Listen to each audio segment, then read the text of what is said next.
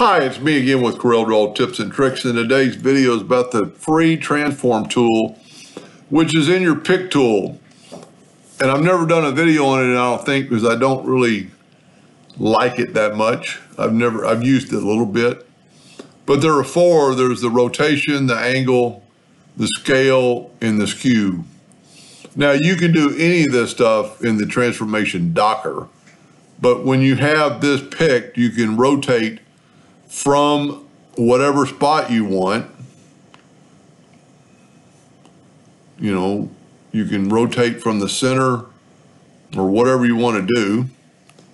You can angle it from whatever spot you want, which is kind of like rotate, but it's angling from that one spot. It's kind of locked in there. You could angle it from the center. It's wherever your cursor is set. You could scale it from wherever you're at. If you scale it from, you know, an angle, you get an angle. If you scale it from the center, I wasn't on scale. You can scale it. This is pretty cool. This is when I do use it, I've used it. So if you go from there, you, it goes the opposite way. If you go from there, it goes the, you know, just, it's kind of hard to use sometimes. Uh, but if you go from the center, it'll go from the center outward. So if you need to make a box just a little bit bigger, let me get back to the rectangle and then you could skew it. And, but you could skew it from, this is almost like the rotation of the angle. Um, it's a little bit better, but you can scale it, skew it from the center, but your, you know, your hand still has to, your mouse movement, but you can kind of see in live uh, operation what it's doing. But if we go to Windows, Dockers, and Transformer transformation, you can do all that up here, and you can, but you can do it with numbers. You know, if we want to rotate it 45 degrees, we rotate it 45 degrees. If you want to scale or mirror it, um, you know, from there and go like 50%, it'll scale it 50%. If you want to go in like, well, that scale and mirror uh, size, which is the scale basically, you know, you can, uh, well, don't really have to do it. You do it with numbers.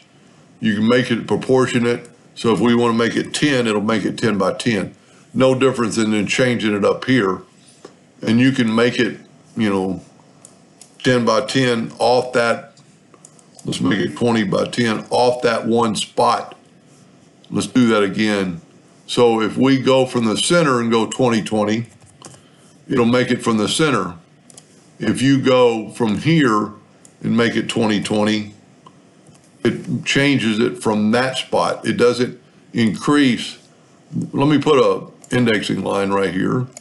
Let me go ahead and put an indexing line right in the center of it. Now let's do the same thing I just need to get the regular pick tool back. So we're going to scale it from here and we're going to make it 20. It's changing it from that spot. Just like this, if you put it here, it's going to change it from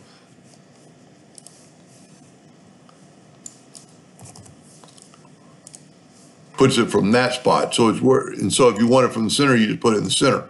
If you want it to grow 20 by 20 and be proportionate. And then the other thing is the skew, which works a lot better because you can skew it with numbers. You know, you can type it in and hit apply. It's, uh, you can do it by hand and you can do it without any of this open. You can always skew by double clicking and getting your skew. But this is a little bit different. Um, so that I just show off the free, uh, free transformation. Now the rotation can be nice because you can go from that angle and you know rotate something if you want to look at it. Anyway, hope that helped just a little bit. Thank you for watching.